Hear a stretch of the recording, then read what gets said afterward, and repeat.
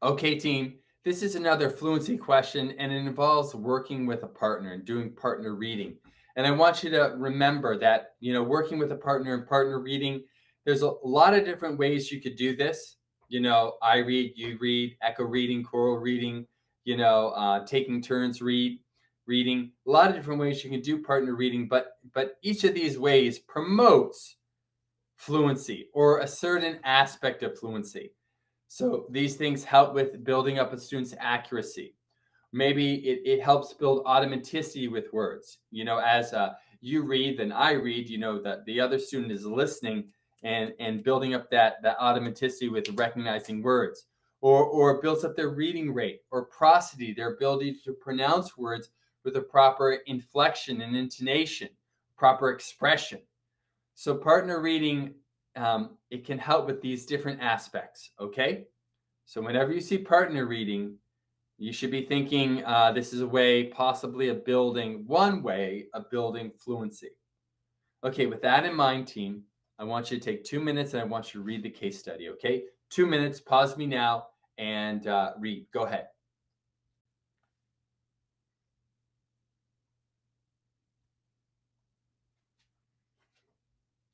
Unpause let's talk about it. Uh, I'm going to start reading and, and just uh, and just work through it. Okay, it says a second grade, second grade teacher. So remember second grade when we were thinking about uh, our scenarios here.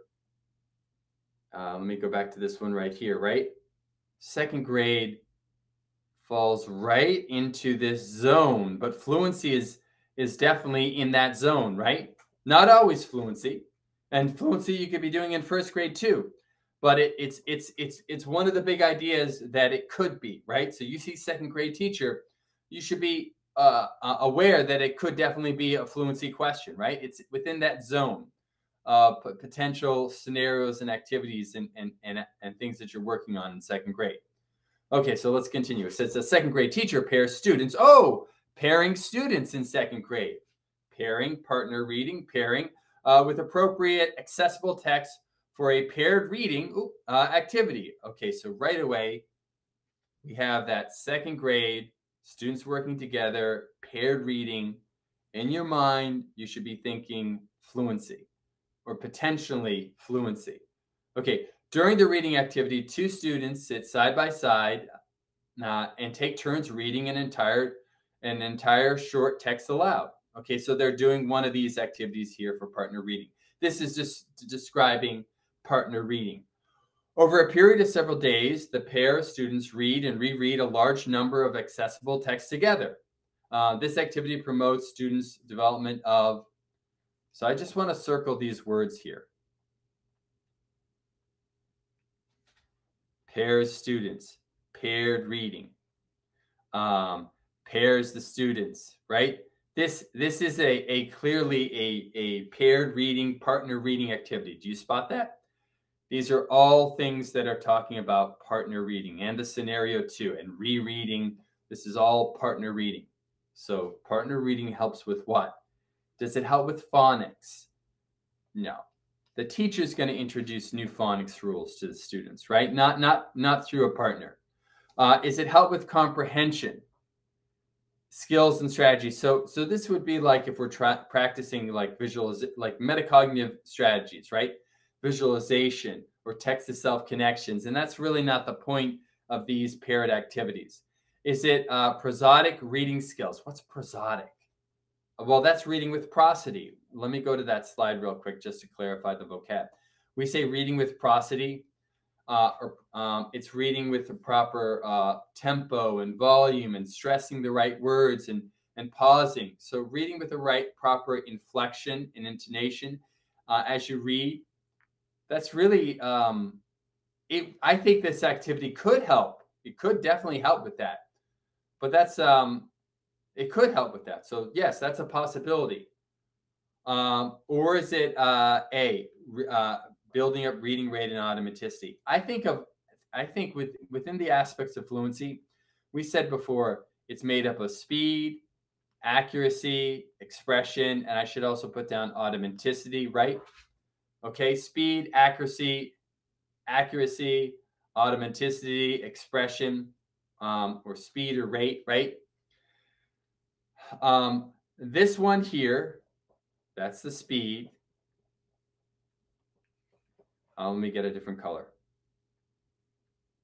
Okay, speed, automaticity, and automaticity, and I'm also going to circle accuracy too, because the partner reading is actually with reading rate and automatic. When you have automaticity, you have accuracy, right? It's rapidly recognizing a word without going through the decoding process. So if you if you get automaticity wrong, then you lack accuracy, right? So once you get automaticity, you have accuracy. So those are technically together. So really what A is saying is that the student, these activities are helping the student with speed, check, uh, accuracy and automaticity. Now, um, prosodic reading skills are when the student reads with, with emphasis and dramatic effect. That's not necessarily always what happens here. But that would be like the final one. That would be the hardest one to, to build. Okay. So if partner reading can just work on these aspects, accuracy, automaticity, reading rate, I think that's that's that's the goal, right?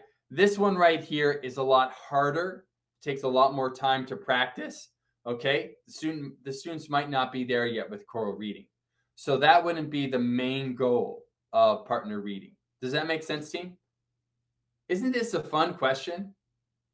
I mean, you get to cross out ones that are wrong and spot the ones that are right. I could see how teachers could, you know, in doing this, maybe they cross out this, they cross out this, but then they get stuck on A and B, right? Maybe that's you. So try and realize what I said in this scenario here that partner reading, it's helping with accuracy. And, and by becoming more accurate, the students building automaticity and it's and it's building up their speed in which they read. Understand that. And then just understand that prosody, that just would be and prosodic reading skills, that just would take a lot, a lot more time. And that wouldn't be the main goal of partner reading. Okay. All right. Uh, now, now, um, if you were doing like readers theater, maybe readers theater could help out with that B. But if you're just doing a, a basic text, right? You know, that's accessible for that second grader, then I think the answer, the best answer is A. The answer is A here. It's a nice question. And uh, again, look at all the answers A from this test here. You get exposure to all these different ideas, okay, um, going on. This one here says accessible text means that it's a text that the student is reading at an independent reading level. So they're getting 95% accuracy. So I should have uh, circled that in this. If you ever saw that accessible text, right? That is that is a code code word for 95% accuracy, right? Meaning they're not having any difficulty with it. And this is a text that is building fluency. And that just reinforces that they're building fluency. Okay. And how and, and an activity that would build these aspects of fluency because it's an accept and ultimately this one too. But this is just saying that this is a text that's meant to build that. Okay. Okay, team. Uh, let's keep going with the next question.